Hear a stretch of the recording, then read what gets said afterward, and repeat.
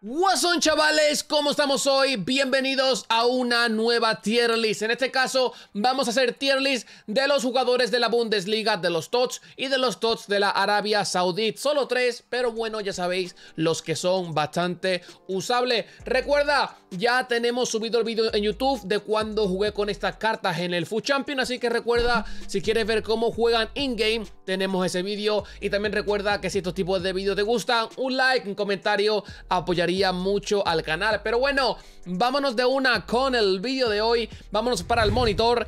Y aquí tenemos la tier del día de hoy. Tenemos God Tier, muy bueno, bueno y sin más. No hay mucho que decir, al fin y al cabo. Todas las cartas son buenas, todas las cartas son usables a día de hoy. Solo que hay alguna que otra que tiene un poquillo de carencias y tenemos que hablar sobre ellas. Igual tenemos que hablar de las cartas que entran en ese God Tier y por qué. Para empezar tenemos a Bellingham y Delete, que vamos a poner a ambos ya de una en el God Tier. Bellingham, el mejor centrocampista del juego y de lejos. Eh, creo que, el, bueno, el mejor o el segundo mejor combatiendo con su primo hermano Jude Bellingham. Acabo de decir con su primo hermano Ruth Gullit. No sé por qué he dicho Juvenil, bueno, es el mismo, ¿vale? Es una carta increíble. Noto diferencia con su carta Toti. Yo creo que no hay mucha diferencia, creo que ambas son muy parecidas, eh, así que si por lo que sea te quieres ahorrar un par de monedas, te puedes comprar el Toti, que lo va a hacer también bastante, bastante bien. Y como he dicho, no se, no se llega a notar bastante. Vámonos ahora con Delete. Delete de los mejores centrales del juego top 3, top 4, increíble, ¿vale?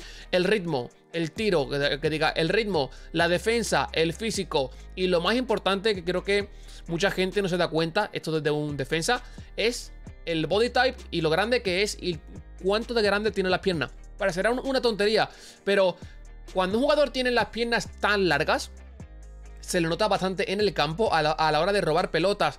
Tiene un body type muy parecido a un Lucio, el típico que tiene la espalda bastante grande y aparte las piernas bastante largas. Me encanta, ¿vale? Su... Y no de la pierna del medio, sin vergüenza. La del medio no la he nombrado. No, no pienses más, que sé que hay muchos de ustedes que ahora mismo están diciendo, ¿y la del medio qué pasa? No, esa no, hombre, esa no.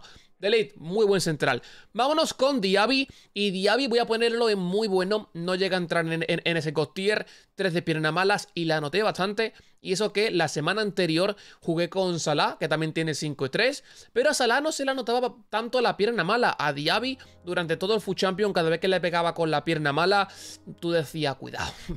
cuidado que ese tiro puede reventarle en la cabeza a un niño en la grada y va a tener que pagar, tú no quieres pagar. Así que bueno, el resto, carta muy buena, muy rápida, las skills, increíble, cómo se mueve en el campo, increíble, muy, muy, muy bueno. Full Crook, sin más, ¿vale?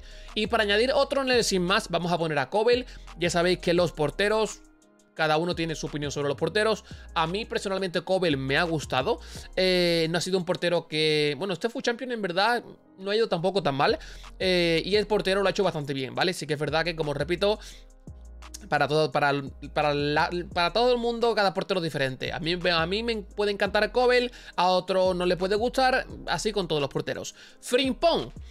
Frimpong es que va a ser muy difícil porque ahora lo pondrían un God tier al lado de un Delete y de un Bellingham. cuidado, ¿vale? Ahora, a mí me parece, si no es el mejor, a ver, el mejor tampoco, pero top 3 a día de hoy laterales del juego. Así que si eres un top 3 laterales del juego, tienes que entrar en un God tier, ¿no?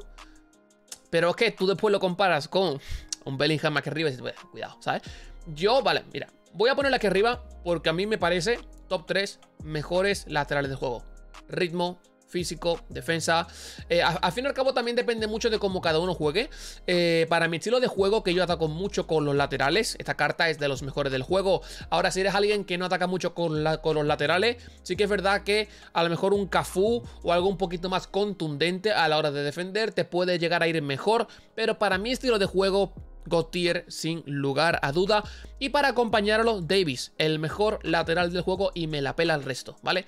No comparto opiniones, no me diga ahora los comentarios, pero es que yo creo que Vila, pero no, no, no, no, no. Este hombre me trae 5 de esquí, 99 de ritmo, una defensa y un físico increíble. Y aparte, recuerda, defensa negro por culero y nunca mejor dicho. Así que bueno, Frimpong, Davis, yo personalmente los voy a poner en la parte de Cotier, me encantan ambos, ambos lo tengo ahora mismo en mi equipo titular. Y hablando de equipo titular, quiero irme con una de estas cartillas de aquí, ¿vale? Para poner otra más en el Gotier, ya que mucha gente se pensará que me estoy tirando un triple con Frimpong y con Davis. Voy a tirarme otro triple, Romariño, ¿vale? Gotier. Mm, eh, mira, yo vi la carta el viernes y yo, sabía perfectamente que esta carta iba a ser muy buena, ¿vale? ¿Qué pasó? La probamos, increíble, ¿vale? Mm, el ritmo, casi al máximo. El tiro, casi al máximo. Y lo más importante, 99 de agilidad, 99 de defensa, creo que tiene 95 de, de compostura, 95 de regate. Unos números que in-game se notan. No es la típica carta falsa, no, no, no. Se notan in-game. Recuerda, 5 de kill, 4 de pierna mala. Aparte, no es tan alto in-game. Es, es un Mbappe. Para mí, se me recuerda a un Mbappe. Es una maldita cartorra que te aseguro yo que si este hombre jugase con estas stats en la Premier League, te costaría 2 o 3 millones de, monedas sin ningún tipo de duda. Háganme caso, si podéis probarlo, háganlo. Durante todo este fin de semana irá bajando de precio. Y yo, de los mejores delanteros que he probado hasta el día de hoy. Increíble. Para no ir siempre con el Gautier, vamos a poner alguna otra cosa por abajo, como por ejemplo Brandt, no hay mucho de qué hablar. Eh, cartas sin más, igual que Hoffman. Y para, voy a poner... Vamos ahora a rellenar el bueno, ¿no? Ya que el bueno lo tenemos un poquito por ahí. Voy a poner a Colo Muani en bueno. Ha habido mucha gente que me dijo durante la semana, Senpai, prueba Colo Muani que te va a gustar mucho, se va. Es muy bueno, muy, bueno. Lo probé en la Copa, no en el Food Champion, pero lo probé en la, en la Copa Tots. A ver, no es malo. Para nada. Para nada. Pero ya está, no, no me llegó a llenar a la hora de, hostia, esta carta destaca. No, no me estaba destacando para nada. Se me recuerda a un Harry Kane, solo que un poquito mejor, la verdad. Y por el precio sí que es verdad que es una carta bastante buena, pero tampoco, sinceramente, puedo llegar a ponerla en el muy bueno o en el God. No sé yo, no me ha gustado. Otra carta que entra en el bueno es Sané. Y creo que Sané te podría llegar a entrar hasta en el sin más, ¿eh? Es una carta que la probé en el Food Champion y me pareció bastante... A ver, como todas las cartas, no son malas. Pero cuando juegas el Food Champion con un Romariño, con un Davis, con el que diga con un Davis, bueno, sí también, o con un Diaby, con un Musiala, un Enkunju, un Goreska, un Mané, un Talisca, y pasas de eso a un Sané, te das cuenta, ¿no? De la diferencia que hay entre unos y otros. Una carta que para muchos equipos va a ir de puta madre, pero a día de hoy la mayoría de gente la va a dejar pasar, creo yo. Marco Royce, SBC. Vámonos con los dos SBC rápidamente. Y quiero poner a ambos en el muy bueno.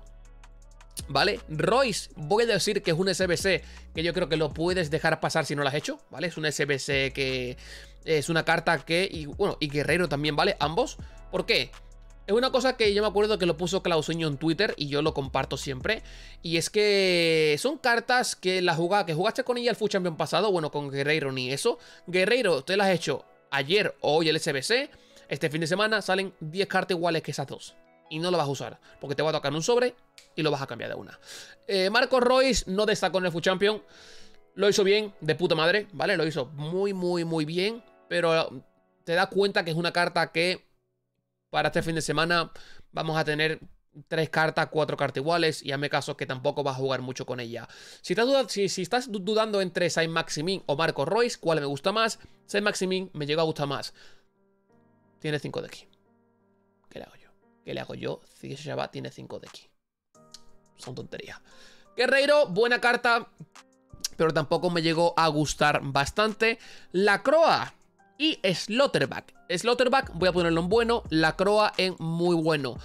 Eh, ambos, sinceramente, no me han llegado a gustar tanto, ¿vale? Creo que son cartas que, bueno, la Croa sí que puede llegar a entrar en algún que otro equipo extra, pero son dos cartas que mira, me quedo con saliva, me quedo con... Ahora mismo no se me, no se me viene ninguno a, a la cabeza, pero de los dos centrales que han salido, los más flojillos, creo yo. Eh, la Croa sí que tiene mucho ritmo, estilo otro, pero es una carta que creo que es un poco inconsistente. A la hora de que un partido me la hace de puta madre, el siguiente partido, bueno, el Shabbat. ¿Sabes cómo cuando los imanes se pegan? Pues al revés, cuando no se pueden pegar los imanes, pues lo mismo, el Shabbat, un partido era un imán y de repente giraba un imán y al siguiente partido el Shabbat no cogía ni una. No sé qué le pasaba a, ese hombre. Pero bueno, lo dejamos así por ahora. Kimmich, Gautier, sin lugar a duda. Musiala, Gautier, Enkunku, Gautier, Goreska, Gautier, Mané, Gautier, Ronaldo, Gautier, Talisca, Gautier, ¿vale? Vaya locura lo que yo acabo de hacer, pero bueno, no me importa. Vamos a hablar poquito a poco sobre cada carta, ¿vale? eh, Kimmich, me encanta. Probé el Winter Walker. Y el Winter Walker me pareció una puta basura. Lo digo, así de fácil, ¿vale? esa carta me pareció horrible. La probé. Bueno, tenéis el, vídeo cuando probé las cartas más raras de, FIFA 23, que es una carta que Kimmich Winter Walker no te lo encuentras. Y por algo es. Uno, porque estaba bastante caro en su tiempo. Dos, el Shabazz de cada pedazo. Ahora, el cambio a este Kimmich se nota bastante. En el ritmo, en el tiro, en la defensa. Pero más que nada en el ritmo y la agilidad. Es un jugador que se me recuerda mucho este Kimmich al típico Kanté de otros años, porque no es un jugador bastante grande, es un jugador pequeñito, por decirlo así, para jugar en el medio del campo, ya que este año es muy importante tener jugadores grandes. Eh, bueno, Kimmich no es así. Kimmich tú lo puedes poner, aunque sí es verdad que un Turam creo que puede llegar a ser mejor por la estatura opinión personal, cada uno juega diferente, eh, pero Kimmich es un jugador que lo va a hacer bastante bien a la hora de robar pelotas, y si eres alguien que suele moverte mucho con tus centrocampistas a la hora de eh, querer gigar, mm, robar la pelota o que te la pasen, y un poquito de amago e irte para allá y todo lo otro, Kimmich es tu hombre, ¿vale? Recuerda eso, Kimmich, he is him. He is him y Goreska también, ¿vale? Goreska es mejor que Kimmich, 100%. Vale, Goreska tiene unos números. Pero es que te juega igual que los números, vaya cartorra. Probé en el Food Champion Goreska con Bellingham. Y siento mucha pena para toda aquella persona que se, que se cruzó contra mí. Porque yo recuerdo que si no era uno, era el otro. Si no te robaba la pelota uno, el otro llegaba y te decía, ¿qué pasa, tu hermano? ¿Me da la pelotilla esa? Es como cuando te viene el típico gitanillo por la calle, perdona, Corae. Tú tienes hora, pero no hora de, reloj, sino hora del teléfono. Es que son diferentes horas. A ver qué tiene ahí. Igual, hermano. Entre los dos, el Joshua y el Johnny. Vaya panda de sinvergüenza los dos en el medio del campo. Cristiano Ronaldo. No lo he probado. Pero al fin y al cabo es cristiano, los números que tiene. Sí que es verdad que por lo que cuesta, ni lo pagaría, ¿vale? Por eso no jugué el Food Champion con él, porque cuando yo entré al, FIFA y vi que el chaval costaba 8 millones, digo, yo, yo a ti no te compro. Porque sé que mañana me, va a bajar 7. Y es verdad, cuando acabé de jugar ese Food Champion, estaba en 7.5. Sí que rebotó después, pero bueno, al fin y al cabo, eh, yo lo hubiera vendido en 7.5 y haberle perdido un millón. Mané. Me encanta. Yo, Mané. En serio, Tales. Eh, no, no, no, no. Romariño 2.0, ¿vale? Eh, son muy parecidos, ¿eh? Romariño y Mané se me, se me parecen bastante. Creo que Mané a la hora de juego aéreo a la hora de... Si eres alguien que juega mucho por el juego aéreo, si eres alguien que juega mucho a lo mejor en el no tanta agilidad, creo que Mané te lo va a hacer mejor. Si eres alguien que regatea muchísimo, Romariño va a ser mejor, ¿vale? Pero son dos cartas bastante parecidas y los, y los dos delanteros que más he disfrutado este fin de semana. Musiala tampoco lo he probado y tampoco Ankunku, ¿vale? No os voy a mentir. Ya, sabéis que yo soy claro y al fin y al cabo cuando una carta no la pruebo, lo digo sin ningún tipo de problema. Eh, pero al fin y al cabo, coño, son cartas buenas. Eh, tampoco hay que venirnos arriba y decir no. Como no la he probado, sin más, tampoco. En Kunku tiene los números para ser de los mejores del juego. Musiala igual de lo mismo. Talisca sí lo probé. Eh, y te voy a decir que Talisca en verdad, para mi opinión personal, yo hasta te lo podría bajar al muy bueno.